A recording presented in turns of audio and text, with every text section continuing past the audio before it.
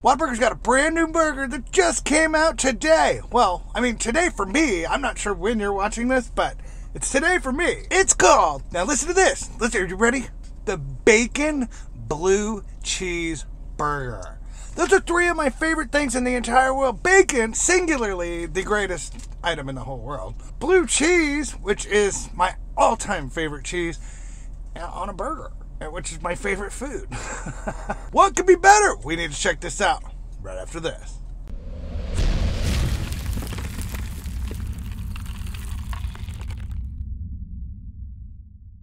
Welcome back to Brick Eats. I'm your host, Bryan Brickman. That's right, baby. Oh, a bacon blue cheeseburger from Whataburger. I can't even tell you how excited I am about this. I can't, I can't I can't even contain my excitement. I love Whataburger and I love bacon and I love blue cheese. We gotta get this thing out.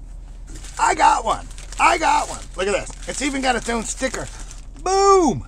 Bacon blue cheese burger sticker. How cool is that? And the only thing I did to customize this was get it with no tomatoes, which they put on there anyway. But look at the size of this thing. Whoa.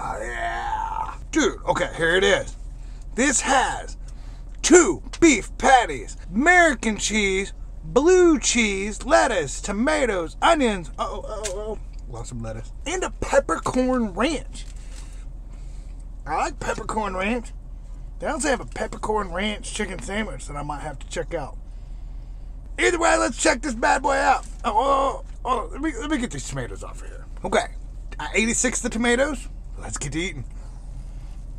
Mm. Oh, wow. Okay, that peppercorn ranch is really good. It is really, I mean, that is the, by far, the predominant taste of this thing. I did get some blue cheese, though. I did taste that. Of course, it's double Whataburger with cheese. you know that tastes good. It's that peppercorn ranch, man. That peppercorn ranch is. Ooh, hold on. Hold on. I just got that blue cheese. Oh my god. The blue cheese is strong with this one. Oh wow.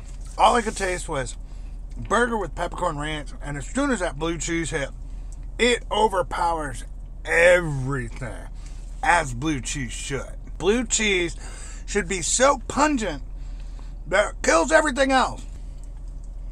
You know how blue cheese was discovered? Legend has it that some farmer in France had a cheese sandwich for lunch, and he went into this cave to eat lunch. And there was some emergency. He didn't come back to the cave for a year. When he did, there was all kinds of mold growing on this cheese. So, like any normal, hungry human being, he started eating it. And that is how he came up with blue cheese. And blue cheese is pungent. It is strong. It's not for everybody. My wife hates blue cheese. And a lot of places will say they use blue cheese. Hey, we got blue cheese. It ain't real blue cheese. It's eh. blue cheese is awesome. And this is good blue cheese. Damn, man. This is a tasty burger. You still can taste everything else, but man, the predominating, the dominating flavor in this is the blue cheese, as it should be. I love that peppercorn ranch. Love the bacon. Love the Whataburger. I mean, come on. This is awesome. That was the only thing I was concerned with was that they had a weak ass blue cheese, and they don't. So on my good, better, best deal for a fast food burger, this bad boy gets a best. Best, best, best, because I love blue cheese. If you don't like pungent blue cheese, you ain't gonna like it. Try it anyway. Live a little, why not? Ooh wee, that's it for me. I appreciate you watching. I appreciate you watching all the way to the end. And hit that like, make a comment, hit that subscribe button. Whatever you feel like doing today. And until next time, keep eating blue cheeseburgers from Whataburger. And we'll see you.